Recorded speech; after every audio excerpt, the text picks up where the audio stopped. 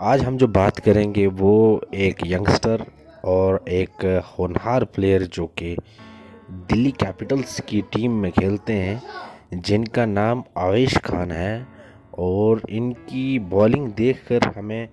Glenn McGrath और बड़े बड़े बॉलर्स की याद ताज़ा होती है क्योंकि इनकी बॉलिंग का एक्शन बड़ा डिफरेंट है और सबसे बड़ी बात यह है कि इंडिया के फास्टेस्ट बॉलर्स में इनका अब नाम जो है वो गिना जाएगा। मैं इनकी बात इसलिए कर रहा हूँ क्योंकि इन्होंने आज जो है बढ़िया बॉलिंग की है स्पेशली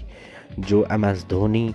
की दो बार इन्होंने विकेट ली, एक बार पिछले मैच में और एक आज भी इनकी विकेट ली और विराट कोहली को भी एक दो बार आउट कर चुके हैं। ये देखें आप, ये एम एस धोनी की जब विकेट इन्होंने ली, अवेश खान ने, एक उभरता हुआ एक सितारा है इंडिया की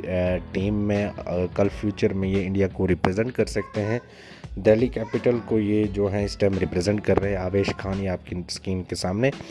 आप सभी से रिक्वेस्ट है कि मुझे अच्छी वीडियो बनाने के लिए चैनल ज़रूर सब्सक्राइब करें और बेल